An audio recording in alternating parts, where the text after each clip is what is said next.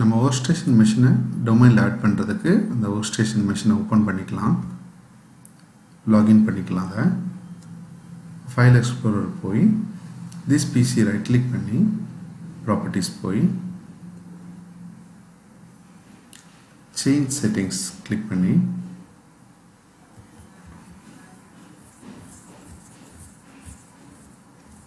Change கொடுத்தீங்கன்னா ஃபஸ்ட்டில் computer name change பண்ணிக்கலாம். நம்ம empty double station WS zero one அப்படின்னு கொடுத்துக்கலாம் ஓகே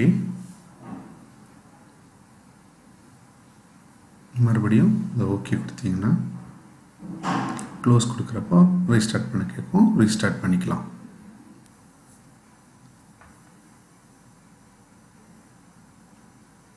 லாகின் பண்ணிக்கலாம்.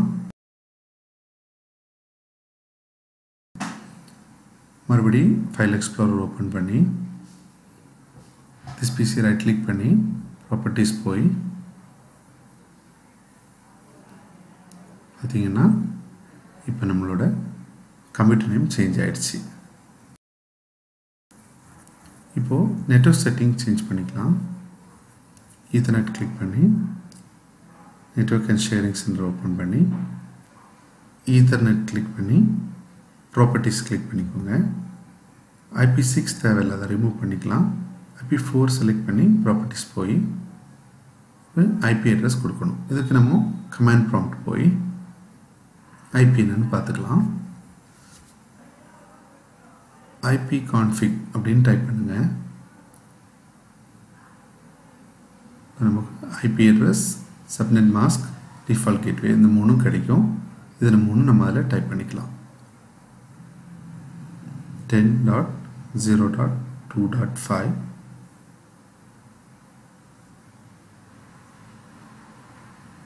subnet mask 255.255.255.0 default gateway 10.0.2.1 இப்போ டிஎன்எஸ் சர்வர் வந்து அந்த நம்ம நம்மளோட டொமைன் கண்ட்ரோலர் சர்வரோட ஐபி அட்ரஸை கொடுக்கணும்.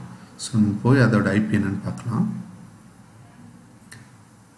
Ten dot zero dot two dot four domain கண்ட்ரோலரோட IP address இதை நம்ம ஒர்க் ஸ்டேஷனோட டிஎன்எஸ் சர்வரில் கொடுக்கலாம்.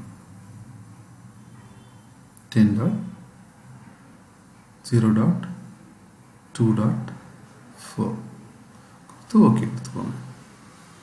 மறுபடியும் க்ளோஸ் பண்ணிக்கலாம். மறுபடியும் க்ளோஸ் பண்ணிக்கோங்க. அவ்வளோதான் அந்த ஐபி செட் ஆயிடுச்சு. இப்போ நாம் இதை க்ளோஸ் பண்ணிவிட்டு எக்ஸ்ப்ளோரர் ஓப்பன் பண்ணி திஸ் பிசி ரைட் கிளிக் பண்ணி ப்ராப்பர்ட்டிஸ் போய் சேஞ்ச் செட்டிங் கிளிக் பண்ணி மறுபடியும் சேஞ்ச் கிளிக் பண்ணி டொமைன் நம்மளோட டொமைன் நேமை டைப் பண்ணிக்கலாம். எம்டி ஓகே கொடுத்தீங்கன்னா இப்போ டொமைன் அட்மினிஸ்ட்ரேட்டரோட யூசர் ஐடி பாஸ்வேர்டிங்க டைப் பண்ணணும் ஸோ ஆல்ரெடி நம்ம க்ரியேட் பண்ணி வச்சுருக்கிற டொமைன் யூசர் நான் வந்து எஸ் ஹாரிஸ்னு ஒரு அக்கௌண்ட் க்ரியேட் பண்ணியிருக்கிறேன். அட்மினிஸ்ட்ரேட்டராக அதை இதில் டைப் பண்ணி பாஸ்வேர்டு கொடுத்து ஓகே கொடுக்குறப்போ டொமைன் ஆட் ஆகிடுச்சு ஓகே கொடுத்துக்கோங்க. அப்படியே ஓகே கொடுத்துக்கோங்க. க்ளோஸ் பண்ணிக்கோங்க. ரீஸ்டார்ட் கொடுத்துக்கோங்க.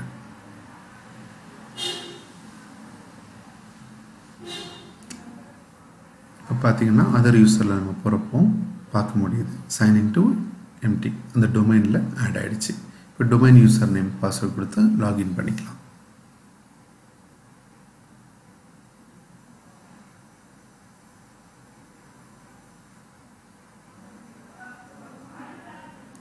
ஸோ நம்ம பிசி சக்ஸஸ்ஃபுல்லி லாகின் ஆகிடுச்சு இப்போ ஸ்டார்ட்டில் போய் டபுள் ஸ்லாஷ் நம்மளோட domain கண்ட்ரோலோட name MD DC zero one கொடுத்து என்ட்ரு கொடுத்துக்கோங்க.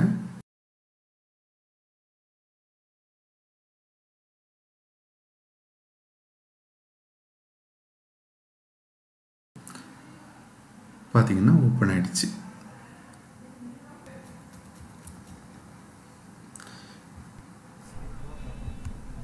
இப்போ நம்ம டொமைன் கண்ட்ரோலோட ஆக்டிவ் டைரக்டரி ஓப்பன் பண்ணி பார்க்கலாம். பாருங்கள் கம்ப்யூட்டர்ஸ் ஓப்பன் பண்ணுறப்போ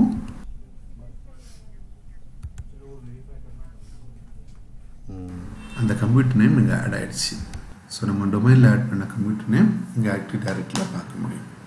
அவ்வளோதாங்க தேங்க்யூ ஃப்ரெண்ட்ஸ் உங்களுக்கு இந்த வீடியோ பிடிச்சிருந்துன்னா லைக் பண்ணுங்கள் அப்புறம் தொடர்ந்து புதிய புதிய அப்டேட்ஸ் பார்க்குறதுக்காகவும் எங்களை சப்போர்ட் பண்ணுறதுக்காகவும் எங்கள் சேனலை சப்ஸ்கிரைப் பண்ணுங்கள் தேங்க்யூ